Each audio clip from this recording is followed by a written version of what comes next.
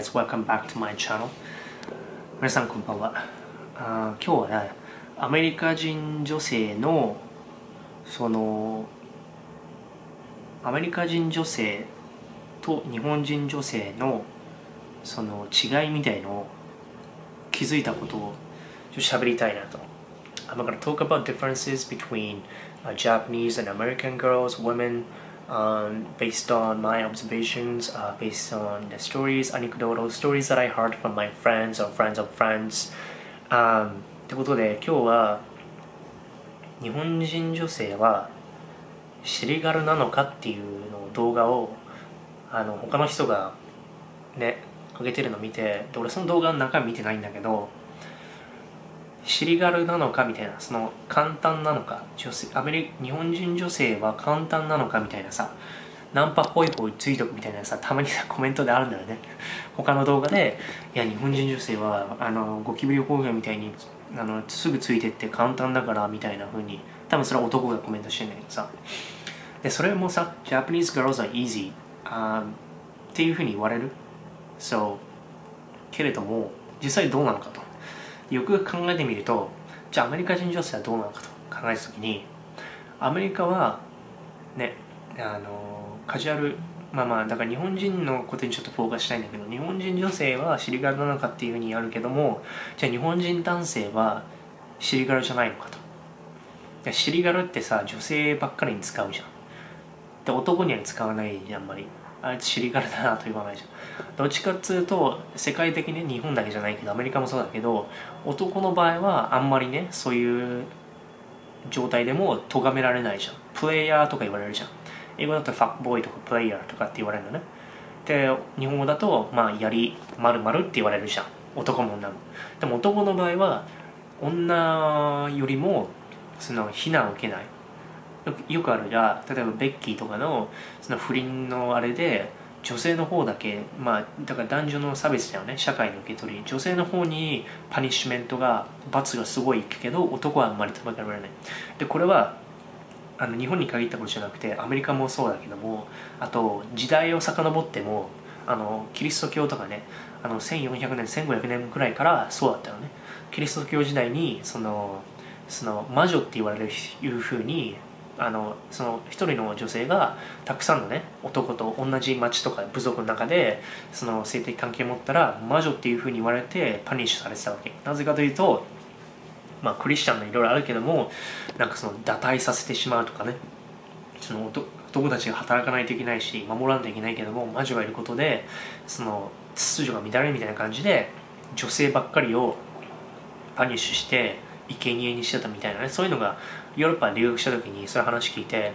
そういうあれなのねまず時代的にも。あと国の世界情勢的にも。だから女性の方がそういうのバッシングされやすいっていう不均衡はあるっちゃあるわけだからまず男性がそうやってね例えばプレイボーイとかプレイヤーとかそのチャラいとかって言われてもまあそういうふうに言われるけれども女性が言われるように尻軽女とかあとなんだ英語で言うとスラットとかホアとかまあまああれだよね。あの要は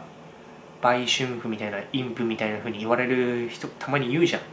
ああの女同士で言うじゃんたまに。例えばあああの女はすぐにやる軽い女でみたいな。とか日本のニュース見てたらあなんか不倫とかしてなんていうの不純で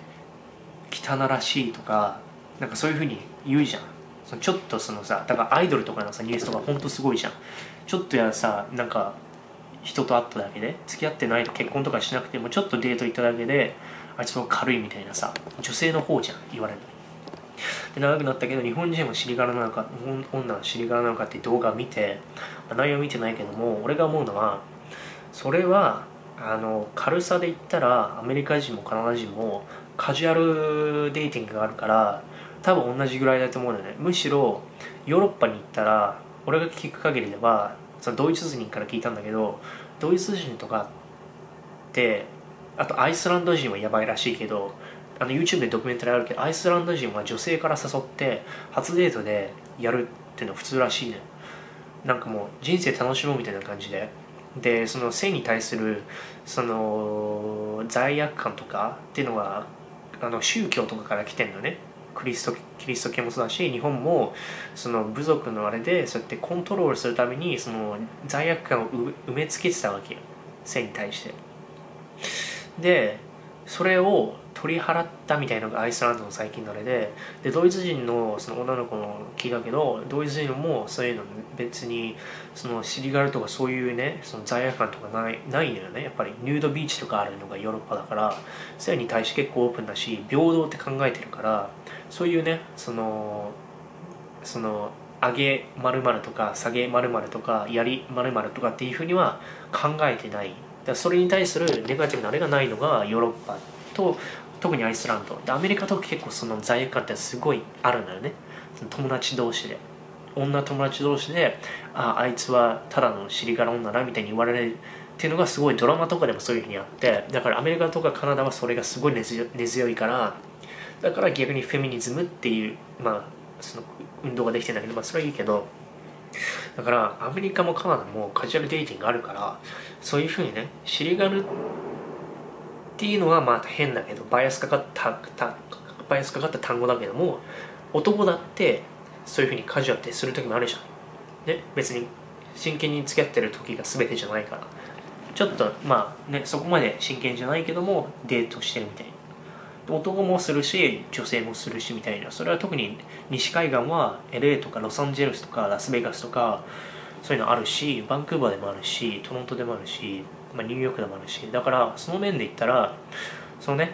回数とか頻度で言ったら別に日本人に限ったことじゃなくてどっちかというと文化的なことによるからめちゃめちゃ宗教的で保守的な国ではなければそういうのはあると思う。だからヨーロッパもあるし日本もあるしフィリピンとかでもあるだろうしオーストラリアもアメリカもあるし逆にね保守的な例えば韓国とかインドとか宗教的な部分があるところはやそういうのは少ないけども。だからだから頻度で言ったらカジュアルデーティングのことだからさ要は。カジュアルデーティングはアメリカとかでもするから日本人だけがそのシリカルっていうふうになってるわけではないと。でシリカルっていうのは語弊があるけどもじゃあじゃあ日本人は簡単なのかっていうのがまた別であるわけじゃん。シリカルで軽いとかって言われてるけどじゃあ軽い軽さはどうなのかとアメリカ人と比べて。で日本人女性の場合に軽いっていうふうに言われてるその理由とか人がそういうふうに思う理由そのいくつかの根源で俺が思うのはやっぱりノーと言えない日本人っていうのが一つあってああね真逆なねアメリカ人カナダ人って例えばね女の場合でも日本人でもまあ眼視化とか思いっきり言ってくる人とか特に大阪とかではっきり言うけどアメリカ人とかってあのファックオフとかってね思いっきりどっか行けよみたいな感じでスウェアスウェアワードを言ったりするには普通に。いつもじゃないけどね。だから本当に感情表現が激しいというかだから強いというの。強いというのは弱い強いの強いじゃなくてちょっと男らしくちょっと男らしすぎる部分があるみたいなはっきりしすぎて筋トレもしすぎてる部分もある意味でそういう意味で強強いんだよね。そので可愛さがないっていうのもそうなんだけどまあまあいいんだけどでその真逆が日本人じゃん。だからそれになそういうアメリカ人とかカナダ人でそのやっぱりさずかずか歩くじゃないけど堂々としてて行動とかもめちゃめちゃ男っぽくてで意見とかバンバン言うし可愛らしい表情とかっていうのをしない人が多いわけよね。アメリカカナダで女性で。なんでかって強くないと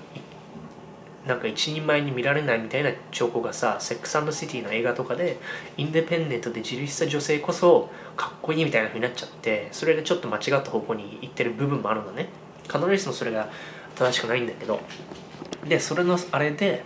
なんかちょと強くとにかく強く言うみたいな感じの部分もあってはっきり言うからそれが北米である中で日本人に喋った時に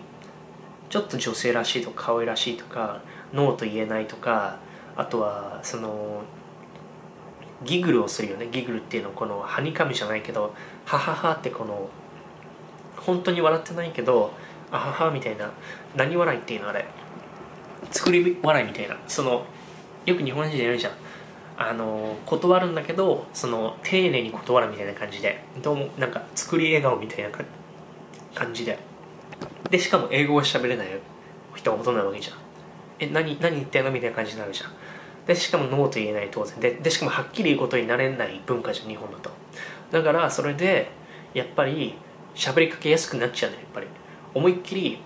そのね「fuck off」とかっていうふうに断られないの分かるわけじゃん。外国人で英語で喋りかけたら日本人女子ね。だから声かけやすいね。その拒否られる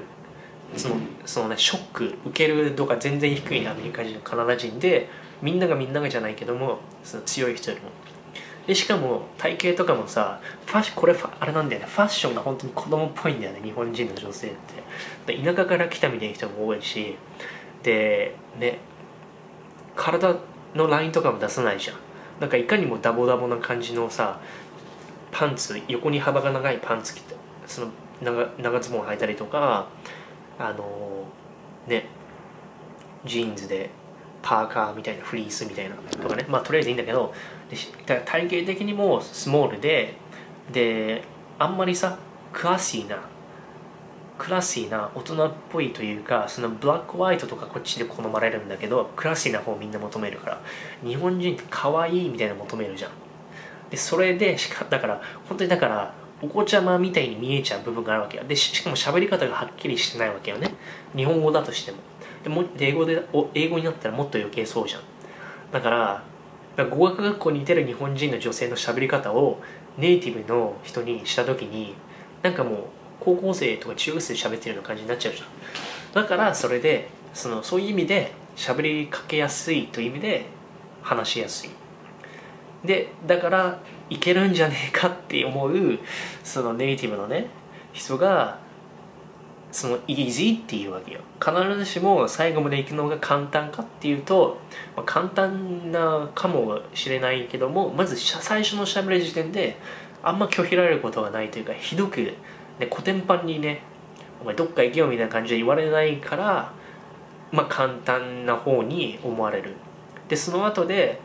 あとはそのそれの一部もあるけどもあともう一つのあれで簡単って言われてる可能性があるのは外国人フィーバー持ってる人いるじゃん。外国人と付き合えればもう人生幸せとかっていうのは極端な話だけどでも外国人だったらとりあえず日本人は嫌だみたいにしてるじゃん。逆もあるけどさとりあえずカナダ人はもういいから日本人がいいみたいな逆もあるけどウィアブみたいな。とりあえず外国人だったらかっこよく見えちゃうみたいな。目の色が髪の色が身長がとか顔の骨格がとか。でそういう人いるじゃん。絶対いるわけだよね。カナダのバンクーバーにもいるし LA でもそうだしとりあえずスタバ行こうみたいな。とりあえずアメリカへ染まろうみたいな。テキサスアメリカ人に染まってこれがアメリカのアメリカライフだみたいなとかさ。あとは、まあ、アメリカ人の彼氏やっぱかっこいいみたいなステータスみたいな思う人も当然いるわけよね。その数学的に統計的に見て。多分3 4 0ぐらいいるんじゃないの？当然それがあるから興味があるから多分アメリカとかに住んでるわけじゃん。でそういう人たちはあの例えば俺は7年とか8年海外いるから外国人の例えばアメリカ人カナダ人の中でもかっこいいかっこ悪いっていうあれがあるわけじゃん区別が。それがその目が肥えてくるっていうのは例えばねいちごの美味しい美味しくないとかご飯の美味しい美味しくないみたいのがその普段ずっと見てると分かってくるようになるね。でも日本人が海外アメリカとか来て1年目とかだとこの区別がつかないよね。こいつイケてるやつなのかこいつ性格ちょっと大丈夫かとかこいつ顔結構可愛い方なのかかっこいい方なのかそれとも普通なのかとかって全然わかんないんだよね。正直ワーホリの人とかって。俺からしたらえ何あいつみたいなちょっとオタクっぽいじゃんみたいなとか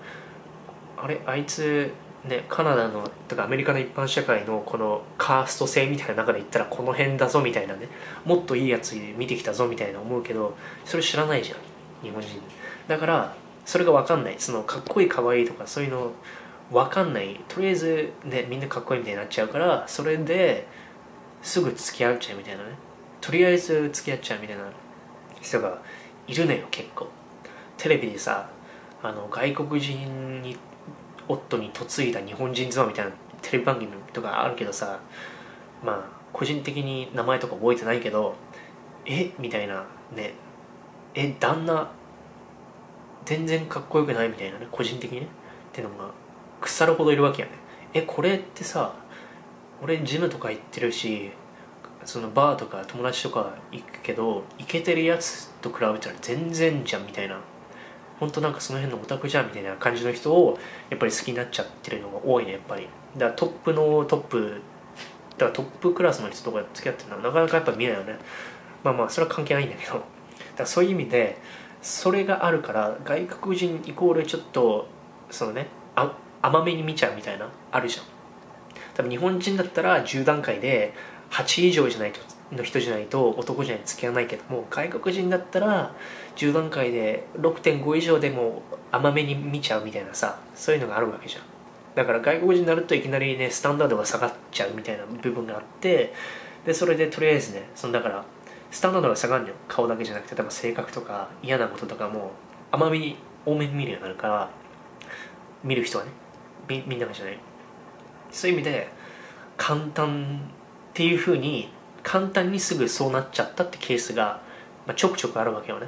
でやっぱりカナダとかさアメリカとかさニューヨークとかさ旅行してさアメリカの国旗フラッグゲットしたいみたいな感じとりあえず経験してみたい人いるわけじゃん。ね。5人ぐらいとりあえずね帰るまでにちょっといろいろ経験してみたいみたいなのあるわけじゃん。でこれ男もそうじゃん。ね。スイス人とねどんな感じか付き合ってみたいみたいな。それと一緒でそのやっぱりでしかも留学してる人って多分女性8割男性2割ぐらいなんだよね。女子の方が多いの。なんでかってやっぱりさ男の方がやっぱ日本社会だとキャリア積んでいくのにやっぱり仕事なんか簡単に辞められないわけでさ親とかがプレッシャーもあるわけじゃん。で男の場合日本の社会の場合さ結婚する時に相手のさ親に行く時にお前は何の仕事してんのかみたいなあの食わせていけんのかみたいなそういうプレッシャーがあるわけじゃん。でも女子の場合ないじゃんはっきり言って。だからこれが男女の差だよね。そのダブルスタンダード。だから女子が悪く言われることもあるけども女子が得することもあるわけじゃん。だからあんまりさ仕事なんて求められてないじゃん。親とか結婚するときに女の場合。だからその仕事なんて辞めてすぐ海外でワーホリとかできるわけじゃん。だから留学海外にいる人は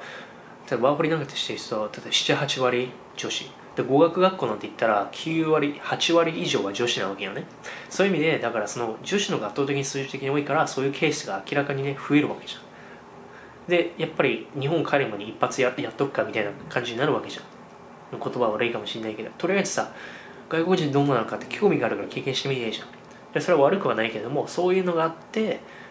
でね圧倒的にそういうのがあるからでしかも日本人って韓国人とか中国人よりもノリがいいからやっぱり終わらない文化もあって。でそういういろんな要因が混ざってこうなってるの。でしかも日本人って海外だとあのエロビデオ AV っていうのがすごい知られてるからエロビデオがめちゃめちゃ有名なのって日本とアメリカとあとチェコとかぐらいなのチェコ共和国。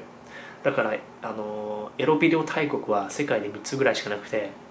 でその一部でさで韓国人とかでまた真逆でお堅いし中国人も全くそうじゃないからだから中国人の韓国人の男ってあの友達が聞いたけど日本の AV 見るらしいね。それがあってだから日本人の女子だと受けがいいと。しかもある程度ねそのリベラルでオープンだと。しかも変態のカルチャーもあるって知られちゃってると。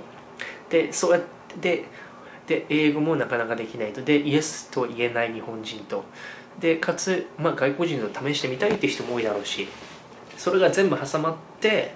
ねこういうふうに尻軽で簡単っていうふうに世間では言われてるんだと俺は思うけども尻軽かどうかって言ったら別にねあのアメリカ人カナダ人とかヨーロッパ人の方が多分してると思うし全然。